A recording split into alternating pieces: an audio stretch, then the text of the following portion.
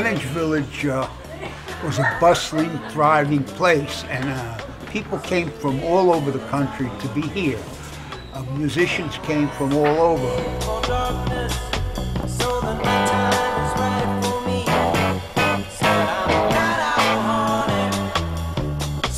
Initially, I had a, a restaurant.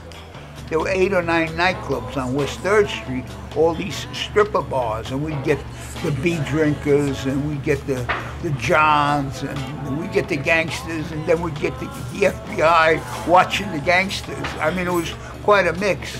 We had Joey Gallo. Well, I remember going to Little Italy with Joey Gallo. We went to Luna Restaurant. At that time, they had no liquor license. They served us wine in a green Coca-Cola bottle. But, but he was very bright, very smart. You know, they called him crazy, but uh, he went to jail for extortion. And then later on came back and he tried to take over this gang and uh, they ended up killing him, you know. One of the first things that happened to me early on in my restaurant career in the village was a big six foot three Irish policeman. Fitzgerald came into my business and said he wanted me to give him $25 a week. And I said to him, you know, why should I give you $25 a week? Uh, I'm, you know, I have a legitimate business. I'm not doing anything wrong here. There's, there's nothing wrong. We're selling ham and eggs here. So he kept it up. And then I got a call from Joe Cataldo, a member of the Genovese crime family. He ran a half a dozen nightclubs for the mob. And he says, you know, we all pay this man money, you know, this, this cop, we all give money. And that meant all the nightclubs on West 3rd Street. I, I said, that's more money than I pay in rent for my apartment. So this guy kept coming back. So one day I had to tell him, I said, you know, Fitz, you ought to walk on the other side of the street. So he says, why is that? I says, well, Fitz, this is an old building. I says, up on the roof, there's a chimney, and all the bricks are loose in this chimney.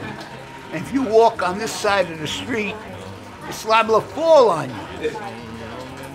So he got a little upset with that. He went back to Joe the Wop, and he says, Joe, he says, Joe, you know that guinea bastard, that Marra, he threatened to drop a chimney on my head. He says, that Marra, and he's making a signal as though I was, he's a little crazy in the head. Maybe you better leave him alone.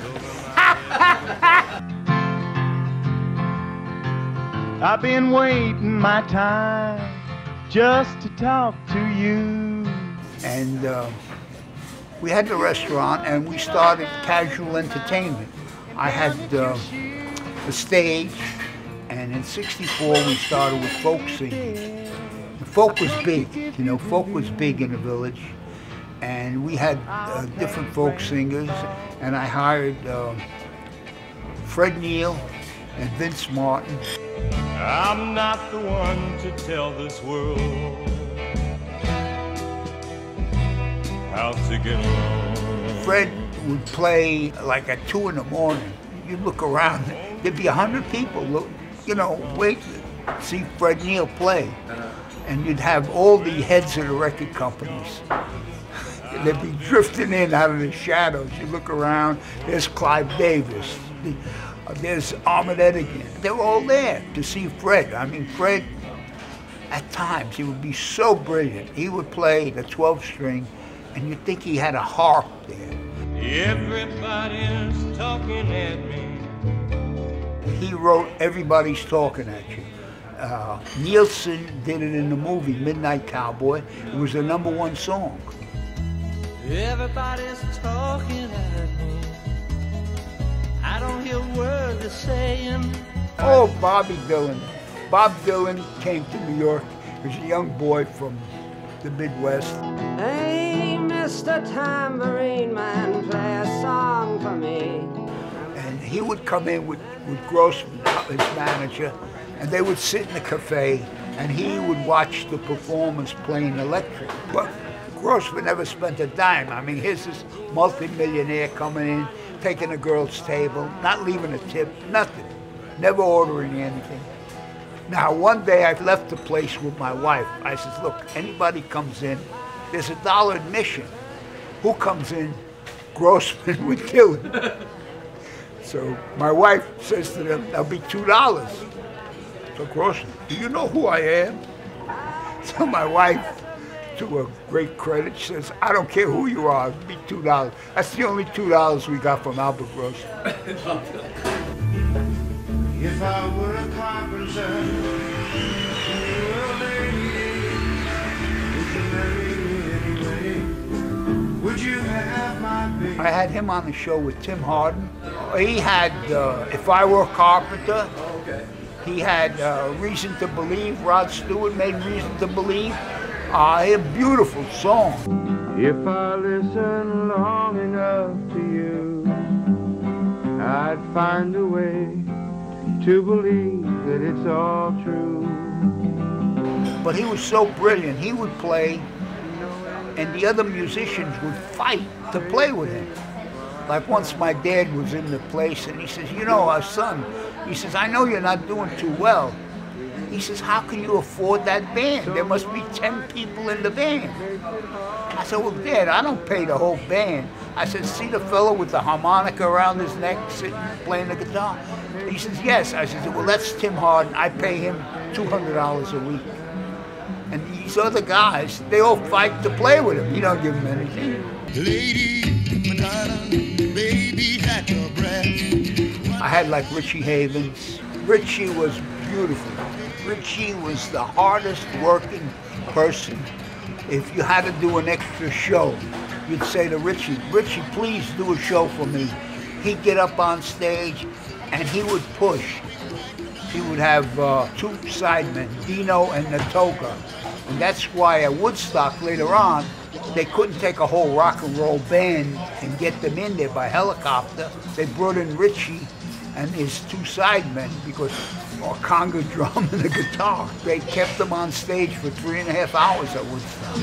Freedom, freedom, freedom, freedom, freedom, freedom. Where did the name The Lovin' Spoonful come from? Well, it came from an old uh, jug band tune sung by a fellow by the name of Mississippi John Hurt. And a friend of ours who works in a jug band, a modern day jug band, thought of the name and gave it to us. Summer in the city, back of my neck getting dirt and gritty.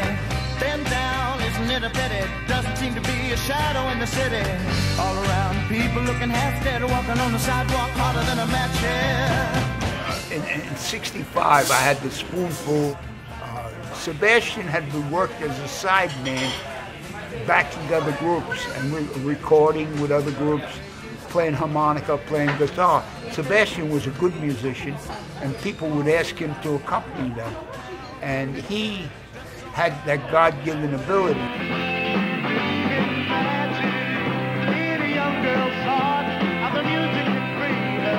When John would hold the auto harp in his hand and play the auto harp, every girl in the audience would think he was holding her, caressing her.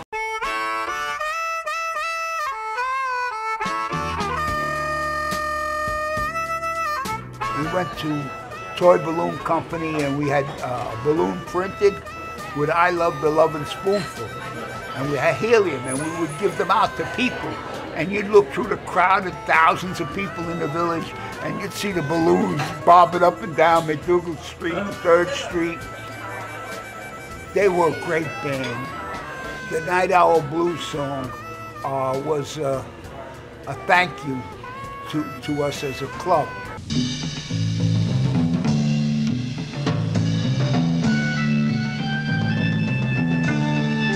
Blues Cry, ah, that's a great story, great story.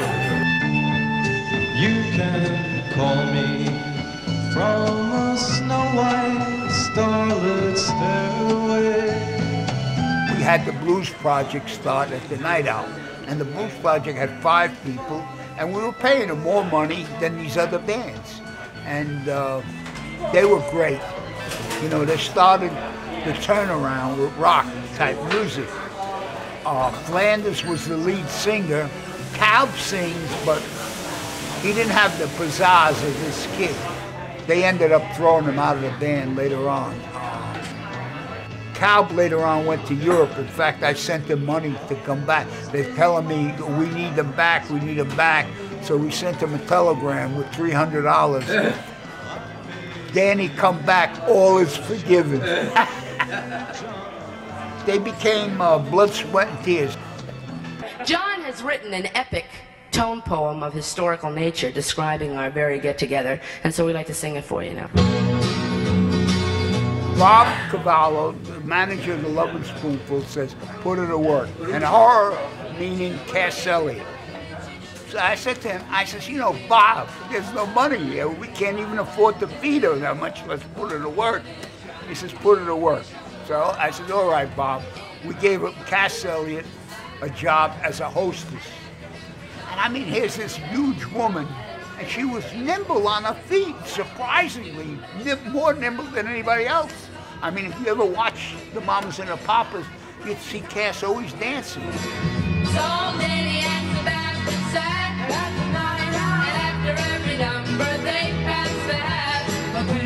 pass Creeque Alley is the Mamas and Papas. It's about John and Zally being in the village with different groups, with the mugwumps.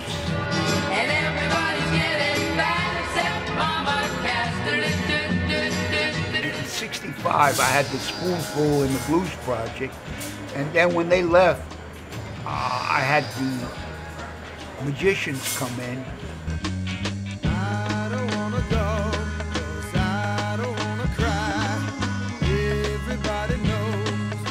The magicians, they played, and, and Gary Bond, had one of the most beautiful voices in the music business. And they wrote hits for the Turtles, not for themselves.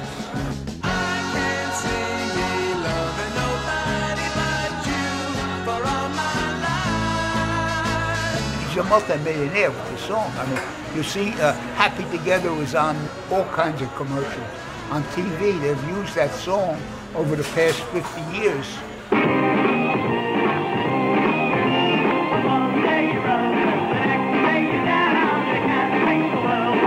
Well, the Blues Magoos came in and they auditioned, and we hired them. There were like five men, and they had this young boy there, Pepe, was a, a singer for them, and he was a, a, a, real handsome young man, and they were very popular with teenagers that came in the club.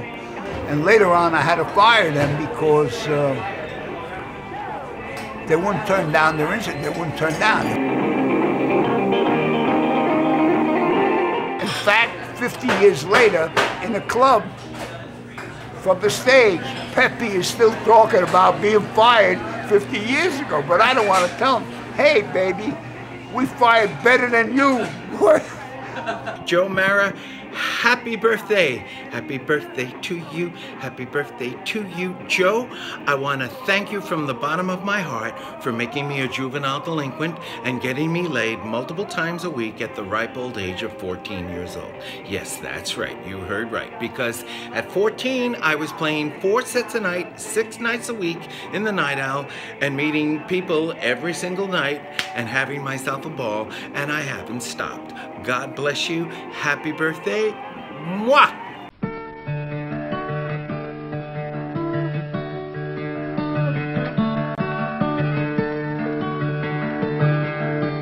65, we had, uh, we owed tons of money. I mean, I mean, we owed, We're so far behind. There was a period of eight months where we only broke even or made money three weeks out of eight months.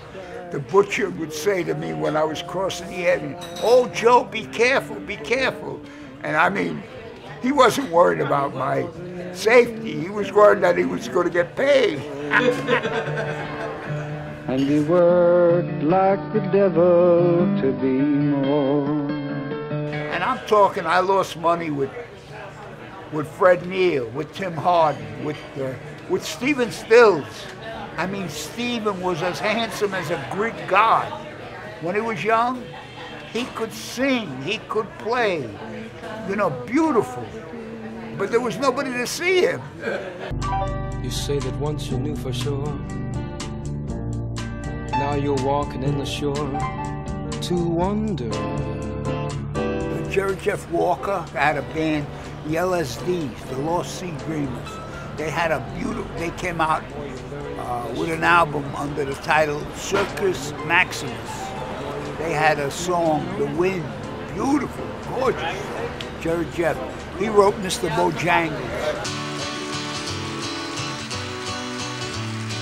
There were men Bojangles and they dance for you. Worn out shoes.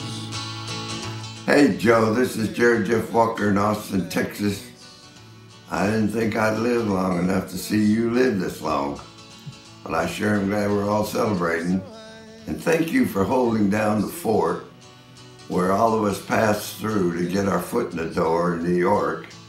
I was on 237 Thompson Street, 231 maybe, and uh, from my apartment I could walk by a slice, get a slice of pizza.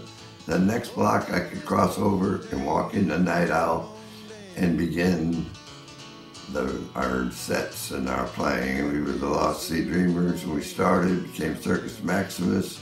We played with the Fly Machine and Nova Express, and we had, well, we were on our way, so to speak.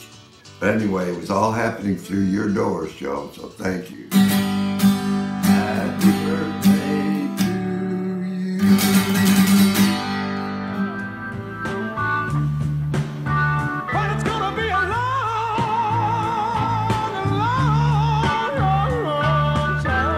One day, one afternoon, who comes down the street? My friend David Crosby with this beautiful young lady. Oh, hello, how are you? You know? And David is going on. He says, I'm going to make her a big star. I'm going to produce her records. And, this, and he's going on and on. And I'm looking at David saying, what a line of shit this David has. And he says, this is Joni Mitchell. It was a Chelsea morning, and the first thing that I heard was a song outside my window. The traffic wrote the words, it came a ringing up like Christmas bells. I said, this girl probably can't even sing.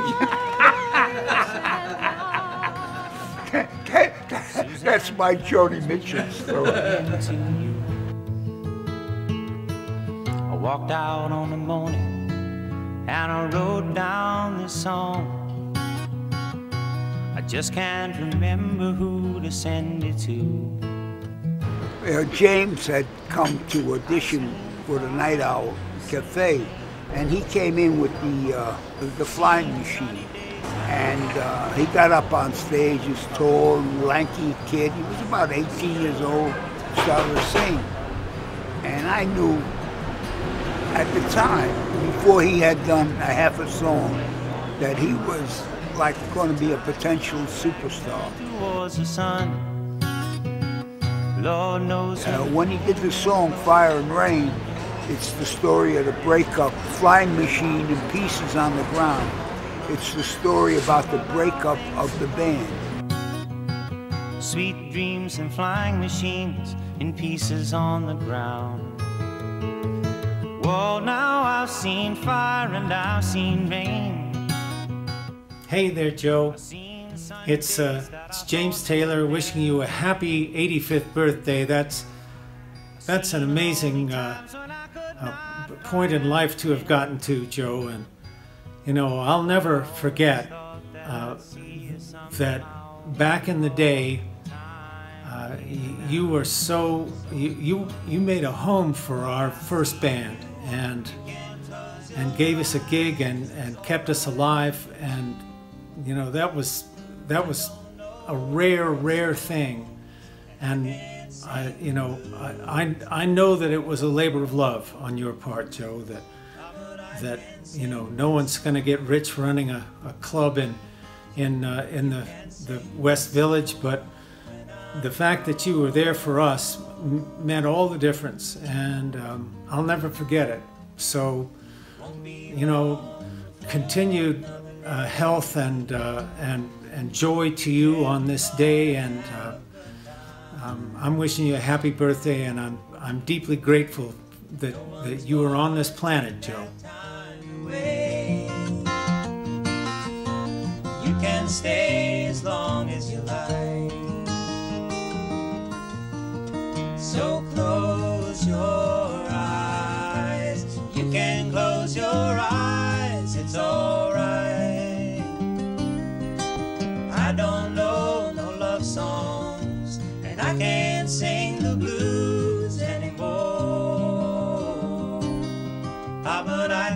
Sing this song, and you can sing this song when I'm gone.